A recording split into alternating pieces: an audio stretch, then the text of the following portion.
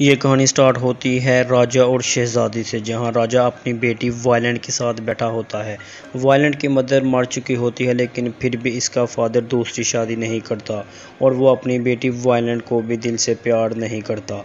एक दिन बादशाह देखता है कि इनके हाथ में एक इंसेक्ट है जो कि खून पीता है। राजा को ये देखकर काफ़ी अच्छा लगता है और वो इसको अपना खून पिलाते हैं। और फिर वो इस इंसेक्ट को शीशे की बोतल में बंद करके रख लेते हैं और हर रोज़ इसको अपना खून पिलाता था। वक्त गुजरने के साथ साथ वो इंसेक्ट बड़ा होता जाता है।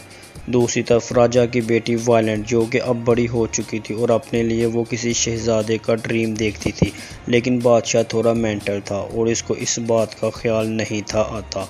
वो अपने इंसेक्ट के साथ बहुत ज़्यादा खुश था, जो कि अब बहुत बड़ा हो चुका था, लेकिन एक दिन वो इंसेक्ट बीमार हो जाता है और मर जाता है और राजा को इसका बहुत ज़्यादा दुख होता है। फिर राजा इसकी सारी स्किन उतार देता है और अपनी बेटी को कहता है कि अब तुम्हारे लिए शहज़ादा ढूँढने का वक्त आ गया है। वो कहता है कि मैं एक कंपटीशन रखूँगा और जो भी इसे जीतेगा वो तुम्हें पा लेगा वायलेंट इस बात से खुश तो होती है, लेकिन थोड़ा सा अपसेट भी हो जाती है क्योंकि वो खुद अपनी मर्ज़ी का शहज़ादा ढूंढना चाहती थी। लेकिन फिर भी वो अपने फादर के इस डिसीज़न को मान लेती है। पूरे किंगडम में ये ऐलान किया जाता है और फिर राजा वो स्किन अपने महल में लटका देता है और फिर सबसे कहता है कि जो भी ये बताएगा कि ये किस इंसेक्ट की स्किन है, वो जीत जाएगा। बहुत से लोग इसको ट्राई करने आ जाते हैं, लेकिन कोई भी ये बता नहीं सकता कि ये किस इंसेक्ट की स्किन है, क्योंकि आमतौर पर वो इंसेक्ट इतना बड़ा होता ही नहीं। फिर महल में एक बदसूरत इंसान आ जाता है, जिसको देखकर सब लोग डर जाते हैं और वो भी इस कंपटीशन में हिस्सा लेना चाहता था। फिर राजा इसको भी इजाज़त दे देता है और फिर वो जानवर जैसा नज़र आने वाला शख्स सिर्फ़ स्किन को सूंघ कर ही बता देता है कि ये किस इंसेक्ट की स्किन है। जिसको देखकर राजा और वायलेंट दोनों हैरान हो जाते हैं। वायलेंट जो कि बुरी तरह डर भी जाती है और रोते हुए महल की छत पर चली जाती है और कूदने की कोशिश करती है। लेकिन राजा उसको समझाता है कि अब उसने ये ज़बान दी है और वो अब तुम्हारी ज़िंदगी है। वायलेंट अपने फादर को कहती है कि आप किस तरह की बातें कर रहे हैं, जो एक बदसूरत इंसान को अपनी बेटी दे रहे हैं। मैं एक शहजादी हूँ, लेकिन राजा मजबूरन अपनी बेटी इस बदसूरत इंसान को दे देता है। वो ज़बरदस्ती शहजादी को दूर पहाड़ों में ले जाता है और वायलेंट काफ़ी दिनों तक वहाँ अकेली रोती रहती है।